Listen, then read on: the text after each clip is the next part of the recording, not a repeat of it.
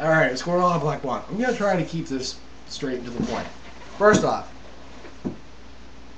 I hope your claim of being a gaming whore is true, and by that I mean that the console wouldn't matter as long as the games are good. You know, true gamers don't really give a shit or don't have one brand loyalty to, you know, be it Microsoft, Sony, Nintendo. Me personally, I'm coming from a PC background. I started gaming on a PC. Or at that point would have been DOS. DOS. Um, you know, back when we had the good old five inch floppy disk. That's how I started gaming. Things like the Atari 8 bit I own every console that I can possibly think of from the Atari 8-bit up to current gens. I own handhelds you've probably never even heard of. Because I'm a gamer. I like gaming. Just an example. Handhelds that I have, Game Gear, WonderSwan, all the Game Boys you can think of.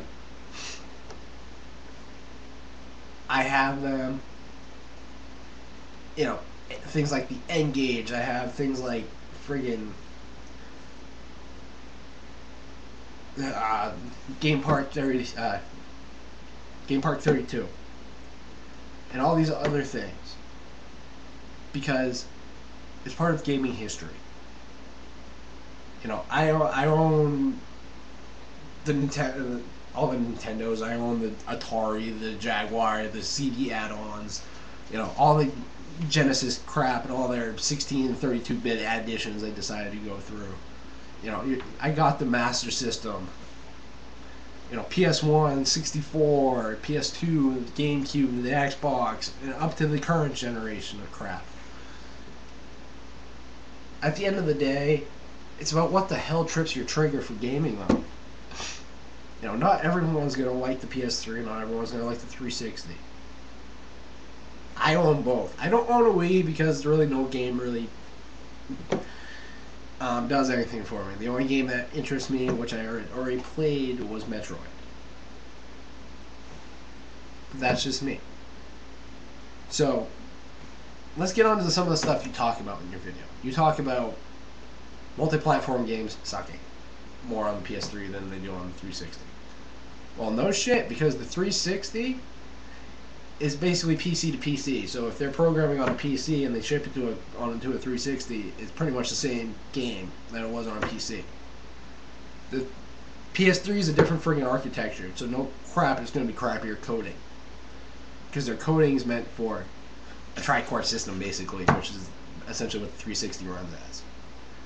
PS3 has a main processor with separate SPUs onto it that queue up its own uh, into the main processor. So, did Sony screw up on launch? Yeah, they did. High-end technology put out way too early at too high of a cost. I won't lie. Thing is, I spent the 600 bucks on that. Because I had a feeling backwards compatibility would become a non-issue later because if I remember correctly, Microsoft didn't have any backwards compatibility when they launched, and they said, "Oh yeah, we're going to um, do some software emulation for backwards compatibility." At least when I bought mine, 95% of my games played that are backwards compatible. I can stick a PS2 game in mine, and more than likely will play. Because why? Because Sony at least had the thought enough to actually, you know, put in essentially a PS2 inside the PS3. Microsoft didn't quite think that far ahead. You know, and you know, you can talk up live all you want. I've played on live. I'm coming from a PC background. Live is not PC if people are coming from a computer background as far as their gaming, PC wise, they're gonna want to lean more towards Sony because that's about the way PC gamers view it. You know, PC gamers tend to view multiplayer as like essential. It, it's part of the game. You know, why the hell am I paying to play online? You know, yeah, it might be five bucks a month, or you know, if you're buying fifty bucks a year, whatever. But most people that are coming from PC gaming are gonna be like, why the hell am I paying for, you know, dealing with tweeners? Because that's what a lot of the atmosphere on live is. Is a, a lot of, you know, oh pwned crap. You know, or you got a lot of freaking like twelve year olds swearing their hat off because they have nothing better to say. I don't get that atmosphere out of PS3 as much. They're still there, but not as much. And for a company that sells themselves as the premier online console experience, you think they could have included a damn Wi-Fi chip.